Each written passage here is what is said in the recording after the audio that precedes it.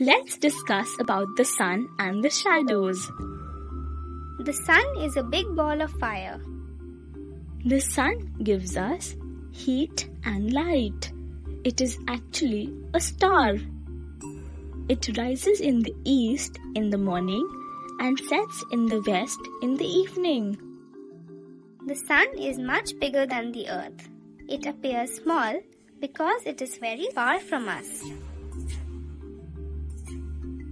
The sun is very useful to us. The sun plays an important role in water cycle. Sunlight makes the day fresh and bright. We enjoy the sun's warmth on cold winter days.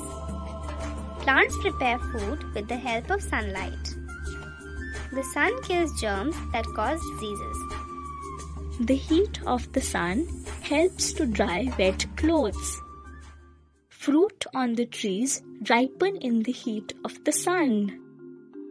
Let's discuss how a shadow is formed.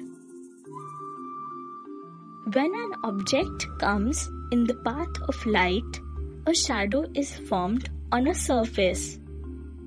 Shadows are formed on the side opposite to source of light. The length of a shadow is different at different times of the day. It changes with change in the position of the sun.